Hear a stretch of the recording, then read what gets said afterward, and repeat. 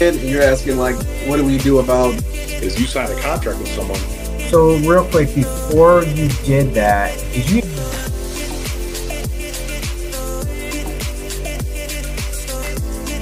More than 30 years. I got my real estate license in the. Um, and your your origin story. Is that he uh, he made an age joke the last time we were. Uh, I'm gonna I'm gonna use that kuka. You know, I- I'm a little more strict with what I'm I'm looking at. Uh,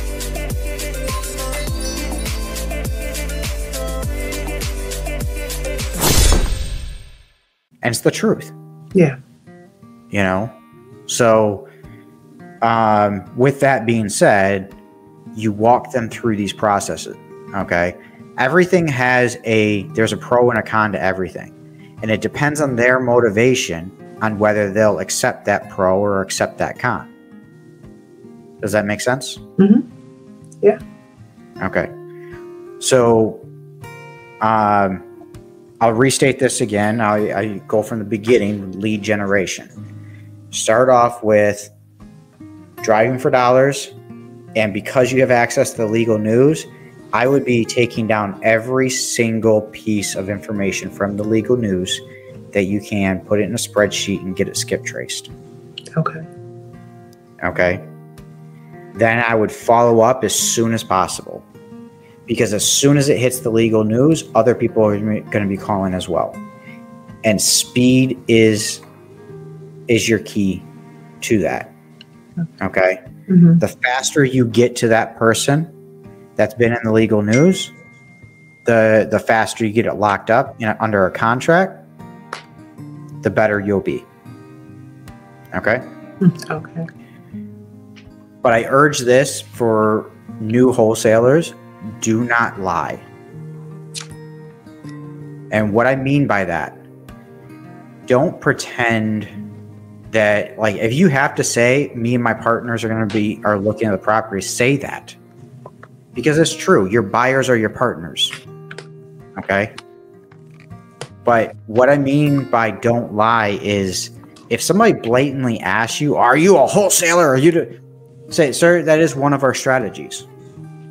We also do have other strategies as well. And that's kind of what I do is I say, we have multiple different strategies. I may not know exactly what I'm going to do right off the bat, but we have multiple different strategies. Okay? So we have to run the numbers for all of them. Yeah. And I said, but whatever I promise you is exactly what you're going to get. Make sense? Oh, absolutely. Absolutely. No, but you say that seller. I'm saying. Oh, okay. You ask the seller, does that make Yeah. sense? okay. Okay. As soon as they say yes, oh, I don't care. As long as you give me what we what we promise, I don't care. Right? Mm, yeah. And that's the reaction that I get. Yeah. Okay.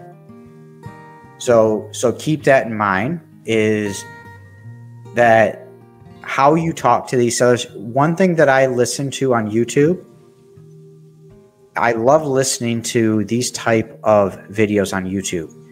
And it's called it's live seller calls. hmm Okay. Because nobody can fake those. I mean, they can, but if if you're looking on YouTube and there's this guy that has an hour long of seller calls that he's been following up for a while, okay? What I look for is not what they want you to see. I'm looking for the actual reactions to the questions that he's asking Okay. and how he's responding. And that's actually truly how I learned. Okay. Mhm. I'm not I'm not very book smart. You probably don't know that about me. A lot of people don't know that about me. I'm not. I learn by doing. hmm That's just how I am. But I learn very fast by doing. Yeah. I know something works, I do it. I I found out it works, great. Try something different. That doesn't work. Okay, go back to what did work and and, and see where I made the mistake. Yeah. Make sense? Oh yeah, absolutely. Same here. That's why I'm like, you know, I, I, want to like partner up with someone who's been through Yep. this process before. Um, because I don't want to just be out here spinning my wheels and not getting anywhere. So 100%. yeah. So, yeah, one one thing that you know, I'm happy to work with you, or help you out, and um, you know, if if you want to call it coaching, call it coaching. It's up to you what you want to call it. But I I'm here to help as many people as I can by giving as much knowledge as I can. Um, and if we can JV and I make some money, you make some money, great. Have that's awesome. You know.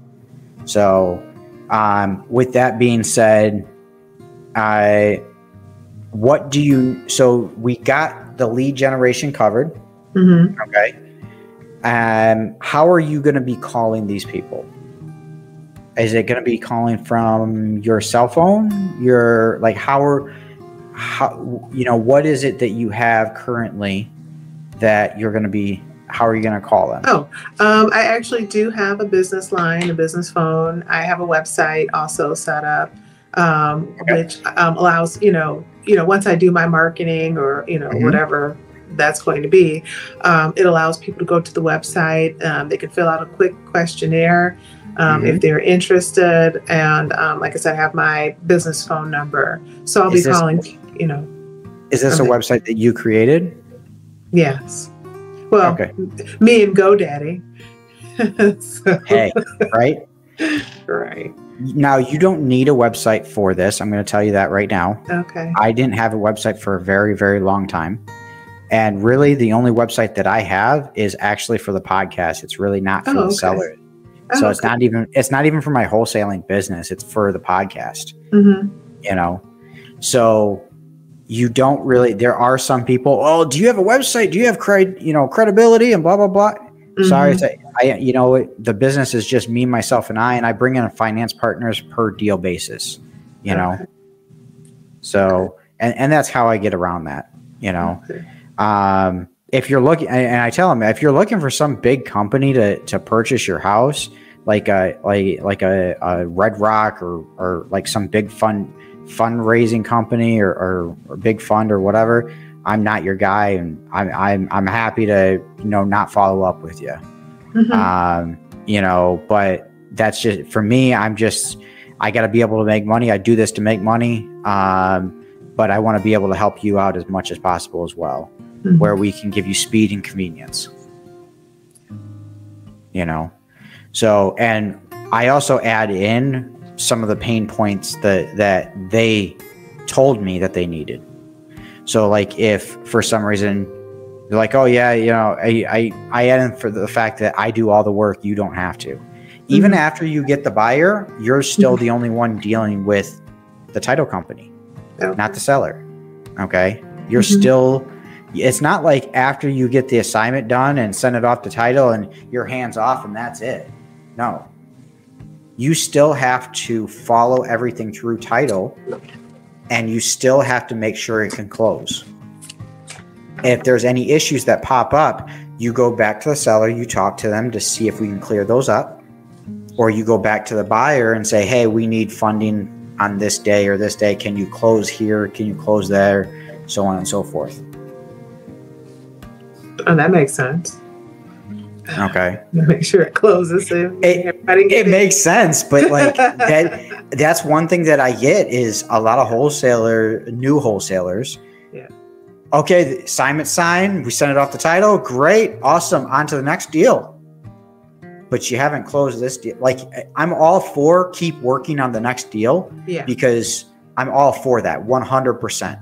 Okay. But you still have to make sure that deal closes and you have to make sure that the seller is not feeling like that they're being taken advantage of. Mhm. So how I do that is is even if I don't have the buyer yet, I'm still constantly updating the seller. Okay? It, keep open communication between you and the seller. Yeah. Okay? As soon as you start to ghost them or not answer their calls or or, or not update them, they're going to think in their heads that they're being scammed or their friend's an agent. Everybody has an a, a friend who's an agent, right? Mhm. All right. And now they're in their ear saying, well, let me take a look at that uh, purchase agreement and I I think I can get you more money. And now they want to walk away from the deal. Okay. There are ways to protect yourself be- if that happens. Okay. But the biggest thing is is that you want to make sure if the seller feels comfortable with you that you have their best interest at heart they will stick up for you throughout through thick and thin i'm going to tell you that right now even if say one of your buyers tries to go behind your back and tries to snake the deal Mm-hmm. which i've had that okay and because i had a good rapport with the seller the seller called me up and say hey this other guy tried to offer me i, I think it was the guy that you had walk through here. You know he came to me and he's like uh you know he offered me a little bit more than you did and you know but it, I, you know i'm a man of my word and i'm, I'm going to honor the deal you have as long as we can close when you say we can close. I say i appreciate that. And i had another buyer lined up already. Mm. you know and we closed the deal. So Yeah. That's where building rapport and building trust with the seller really comes in handy Yeah. whether you're doing this virtual or whether you're doing it in person it doesn't matter you can still build rapport over the phone Mm-hmm. there has been so many deals that i have never met the actual seller Wow. Wow. i've only talked to him on the phone So let me ask you about uh, earnest money, Mhm. or um, in between uh, myself and the seller as a wholesaler. Yep. So um, I know it's different for every state, but what Mhm. is that here in the state of Michigan? Can you go into a little bit about that?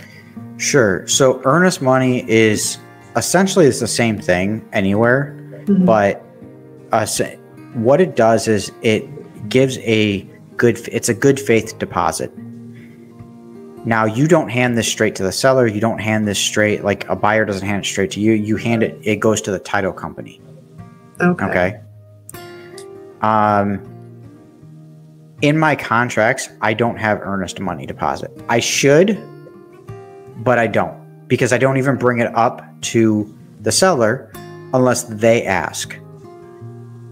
And usually the only time that they ask is if they were an, an agent themselves before or some, Mhm. they had something to do with real estate and things like that then what i do is i say okay fine I'll give you XYZ earnest money deposit, but I need a 10 day inspection. Mhm. Okay.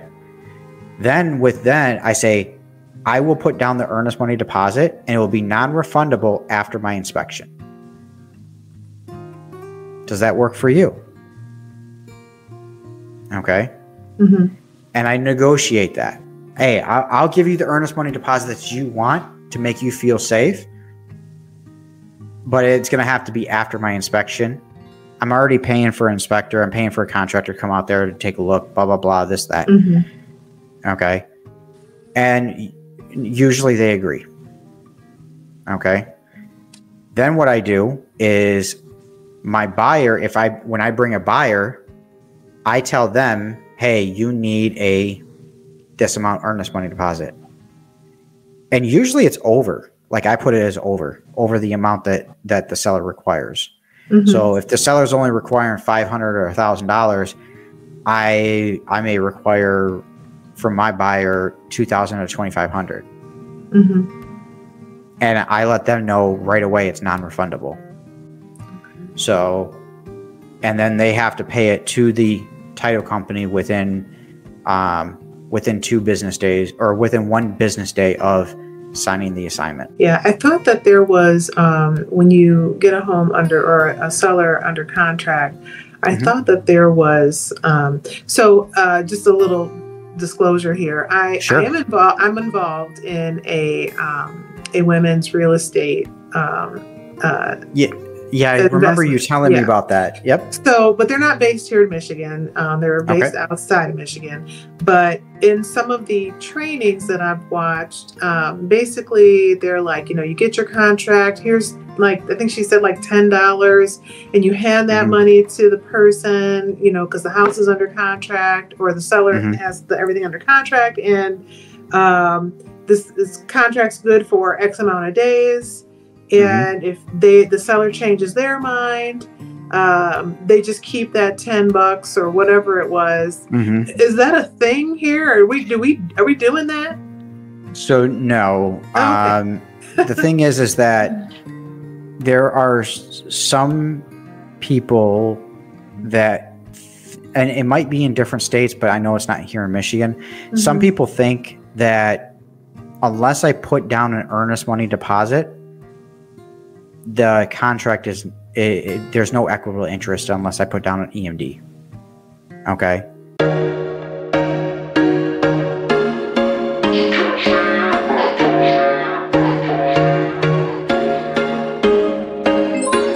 There was once a day that I would pray for you I'd go and misbehave just so you'd notice too Sneaking looks up and down from across the room